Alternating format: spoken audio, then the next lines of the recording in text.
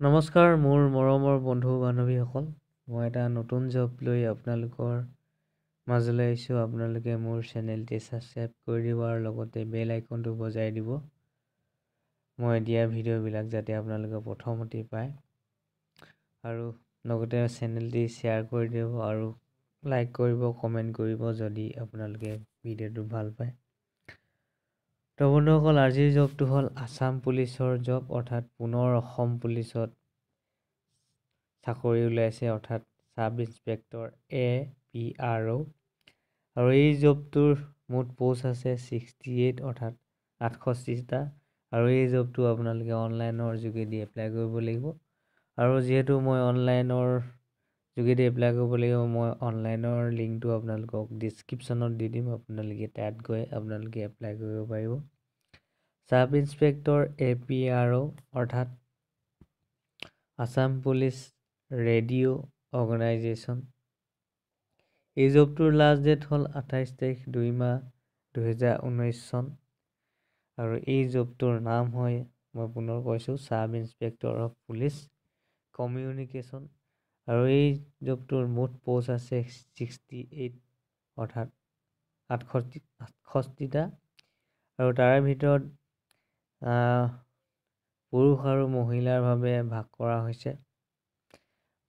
পুৰুষসকলৰ বাবে আছে ফৰ্টি নাইনটা অৰ্থাৎ ঊনপঞ্চাছটা আৰু মহিলাসকল অৰ্থাৎ ফিমেলৰ বাবেও আছে ঊনৈছটা তাৰে ভিতৰত কেটেগৰী ৱাইজ ভেকেঞ্চি ভাগ কৰি দিয়া হৈছে। ইউআৰ বাবে আছে চৌত্ৰিছটা অৰ্থাৎ থাৰ্টি ফ'ৰটা অ' বি চি আৰু এম অ' বি চিৰ বাবে আছে একৈছটা এছ চিৰ বাবে আছে একৈছটা এছ টি হিলছৰ বাবে আছে এটা আৰু এছ টি প্লেনৰ বাবে আছে আঠটা। আৰু এই জবটোৰ আপোনালোকৰ পাৰ মান্থ দৰমহা দিয়া হ'ব যিটো আপোনালোকৰ দৰমহা চৈধ্য হেজাৰৰ পৰা ঊনপঞ্চাছ হাজাৰ টকাৰলৈকে আপোনালোকক পাৰ মান্থ দৰমহা দিব। আৰু লগতে আপোনালোকৰ যিটো গেট পে' প্লাছ আপোনালোকৰ গেট পে' থাকিব আঠ হাজাৰ সাতশ টকা। আৰু এই জবটোৰ বাবে আপোনালোকৰ যিটো বয়স হ'ব লাগিব আপোনালোকৰ চৌবিছ বছৰ হ'ব লাগিব। আৰু এই বয়স আপোনালোকক ধৰা হ'ব এক জানুৱাৰী দুহেজাৰ ঊনৈছ চনৰ পৰা আপোনালোকক ধৰা হ'ব। লগতে আপোনালোকে এক তাৰিখ এক মাহ ঊনৈছশ নিৰান্নব্বৈ চনৰ জন্ম পৰা আপোনালোকৰ এক তাৰিখ এক মাহ ঊনৈছশ পঞ্চানব্বৈ চনৰ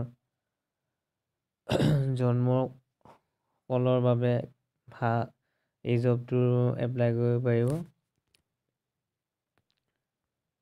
আৰু এই জবটোৰ যিটো ৰিলেক্স অৰ্থাৎ যিটো আপোনালোকৰ বয়সৰ ৰেহাই দিয়া হ'ব আপাৰ এজ লিমিট ৰিলেক্স হ'ব আপোনালোকৰ। যিবিলাক S C S T S T hills S T plain সেই তেখেতলোকৰ কেণ্ডিডেটসকলৰ বাবে পাঁচ বছৰ ৰেহাই দিয়া হ'ব। আৰু দুই নম্বৰতে তিনি বছৰ ৰেহাই দিয়া হ'ব অ' বি চি আৰু এম অ' বি চিসকলৰ বাবে।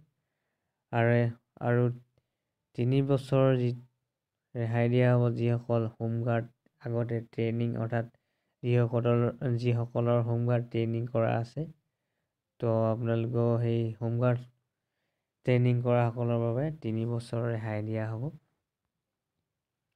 আৰু এই জবটোৰ বাবে আপোনালোকৰ এডুকেশ্যন কোৱালিফিকেশ্যন এডুকেশ্যন কোৱালিফিকেশ্যন লাগিব আপোনালোকৰ B S C economic science নাইবা আই টি নাইবা কম্পিউটাৰ চায়েন্স লগতে আপোনালোকৰ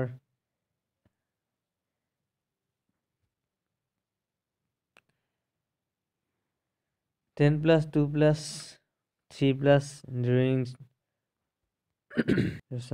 আপোনালোকে কম্পিউটাৰ চায়েন্স কৰা হ'ব লাগিব। আৰু তিনি বছৰ ডিপ্ল'মা যিটো ষ্টেট পলিটেকনিক পলিটেকনিক ইকনমিক্স লগতে টেলিকমিউনিকেশ্যন আৰু ইলেক্ট্ৰনিক্স ইনফৰ্মেশ্যন টেকন'লজি আৰু ইনষ্ট্ৰুমেণ্টছন নাইবা কম্পিউটাৰ ইঞ্জিনিয়াৰিং নাইবা computer science equivalent with two years আপোনালোকে কাম কৰা হ'ব লাগিব এক্সপিৰিয়েঞ্চ দুবছৰ আপোনালোকে এক্সপিৰিয়েঞ্চ কাম কৰা হ'ব লাগিব। আৰু ইকনমিক্স টেলিকম আই টি বা এই ধৰণৰ আপোনালোকে তিনি বছৰ কৰা হ'ব লাগিব নাইবা three years diploma state politic polytechnic economics তো এনেধৰণৰ আপোনালোকে কোৰ্চ কৰা হ'ব লাগিব এই জবটোৰ বাবে। আৰু এই জবটোৰ বাবে যিটো চিলেকশ্যন প্ৰচেছ যিটো আপোনালোকৰ চিলেকশ্যন হ'ব চিলেকশ্যন প্ৰচেছটো হ'ব প্ৰথমতে আপোনালোকে ৰিটেন টেষ্ট অৰ্থাৎ আপোনালোকে প্ৰথমতে লিখিত পৰীক্ষা দিব লাগিব। তাৰপিছত পি এইচ ডি অৰ্থাৎ আপোনালোকৰ ফিজিকেল ষ্টেণ্ডাৰ্ড টেষ্ট যিটো আপোনালোকৰ ৰানিং টেষ্ট লোৱা হ'ব। আৰু যি ৰানিং টেষ্ট লোৱাৰ পিছত আপোনাৰ ফিজিকেল এফিচিয়েঞ্চি টেষ্ট লোৱা হ'ব। আৰু এই জবটোৰ বাবে যিটো আপোনালোকৰ এপ্লিকেশ্যন ফিজ তো এই এপ্লিকেশ্যন ফিজটো আপোনালোকৰ কোনো ধৰণৰ ফিজ দিব নালাগে। আপোনালোকে এই জবটো অনলাইন কৰিলেই হ'ল মুঠতে আপোনালোকৰ এই জবটোৰ বাবে কোনো ধৰণৰ ফিজ নালাগে। আৰু এই জবটো মই প্ৰথমতে কৈছিলোঁ যে কেনেকৈ এপ্লাই কৰিব। এই জবটো আপোনালোকে অনলাইনত এপ্লাই কৰিব লাগিব। আৰু আপোনালোকে অনলাইনত আপোনালোকৰ যিখিনি ডকুমেণ্ট তো আপোনালোকে তাত অনলাইনত ছাবমিট কৰিব লাগিব। অনলাইনৰ বাবে মই লিংকটো আপোনালোকক ডিছক্ৰিপশ্যনত দিম। তথাপিও মই ভিডিঅ'টো আপোনালোকক এবাৰ দেখাইছোঁ। তো অনলাইনৰ লিংকটো হ'ল police dot Assam gov dot in এই লিংকটোত আপোনালোকে গৈ আপোনালোকৰ এপ্লিকেশ্যন আপোনালোকে জমা কৰিব পাৰিব তাত ছাবমিট কৰিব পাৰিব। আৰু এই জবটোৰ অনলাইন ষ্টাৰ্ট হ'ব এক তাৰিখ দুই মাহ দুহেজাৰ ঊনৈছ চন। আৰু লাষ্ট ডেট যিহেতু আঠাইছ তাৰিখ দিছে আঠাইছ তাৰিখ দুই মাহ দুহেজাৰ ঊনৈছ চন। ই ডেটৰ আপোনালোকে ডেটটোৰ আগতে আপোনালোকে অনলাইন এপ্লাই কৰিব লাগিব। আৰু অনলাইন এপ্লাই যিটোৰ লিংক আপোনালোকৰ এক তাৰিখৰ পৰা ফেব্ৰুৱাৰী এক তাৰিখৰ পৰা আপোনালোকৰ অনলাইন ষ্টাৰ্ট হ'ব। তো বন্ধুসকল মোৰ ভিডিঅ'টো আজি ইমানেই আছিলে। যদি মোৰ চেনেলটি আপোনালোকে প্ৰথম আহিছে তো আপোনালোকে প্লিজ ছাবস্ক্ৰাইব কৰিব লগতে চেনেলটি শ্বেয়াৰ কৰিব আৰু বেল আইকনটো বজাই দিবলৈ নাপাহৰিব মই দিয়া ভিডিঅ'বিলাক আপোনালোকে প্ৰথমতেই পাব।